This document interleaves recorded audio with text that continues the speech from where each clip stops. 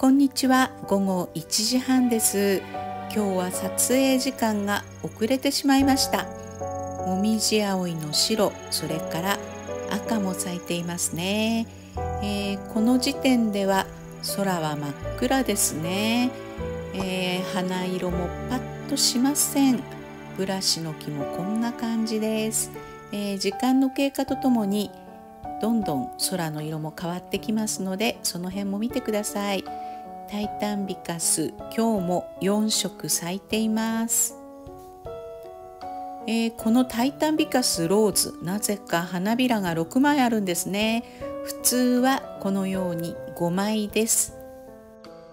ゼフィランサスの白玉すだれも咲いています。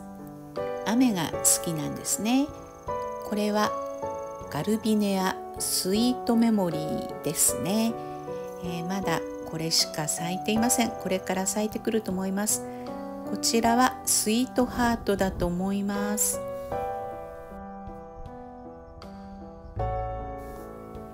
コバノズイナの葉っぱに紅シジミがいました。出根姫ひまわりにはモンキチョウですね。そしてエキナセアにツマグロヒョウモンのオスです。えー、次の蝶々とよく見比べてほしいと思います。これが緑ヒョウモン、えー、羽がボロボロでちょっとかわいそうな感じですけどね。似ているようですけどもよく見ると違います。魚竜ロゼア。今日は虫が来ていませんね。彼岸花、えー、昨日つぼみだったものはそのままでしたね。えー、咲いていた彼岸花は今日ももちろん咲いています、え、花数がちょっと増えた感じですね。シュウメイ肉です、えー、日が当たってきた感じがしますね。明るくなってきました。あこんな感じです。ちょっと幻想的な空になっています。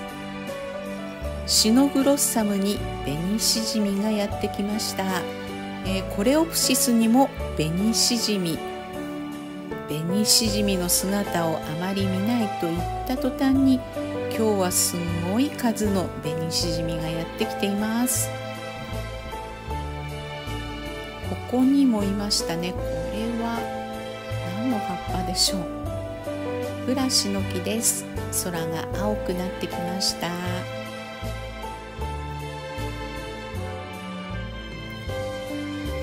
ブッドレアにオオカマキリがいました、えー、実は他の虫を探していたんですが偶然見つけました。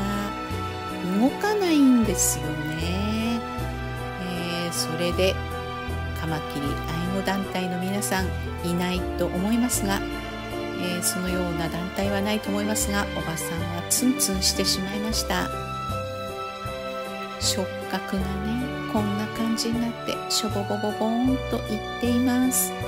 すぐそばにツマグロヒョウモンのメスやってきました、えー、もうだいぶ鱗粉が取れてしまってる感じですね。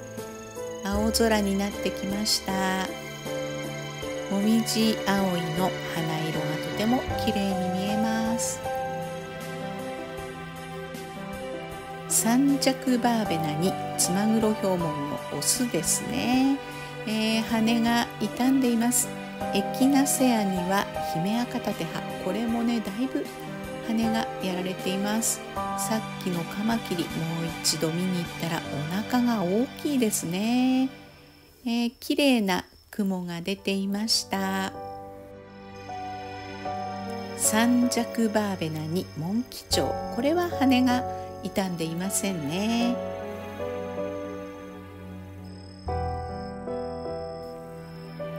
金ロバイにヤマトシジミ本当に小さな蝶々ですけども、えー、こちらはシュコンフロックスにベニシジミ、えー、またまたまたまたカマキリに戻ってそれからジョロウグモ、えー、ナガコガネグモと比較しています、えー、蝶々はねカマキリやこういった雲にやられて羽がボロボロなんでしょうか。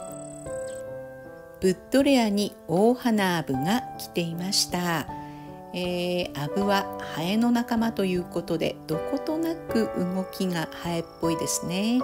この大きなサングラスのような目、えー、特徴的ですね。丸尾です。粉末またたびを魚のおもちゃにかけています。右の猫パンチが炸裂しましたが、まあ、さほど喜んでいるということでもありませんが時々放り投げています。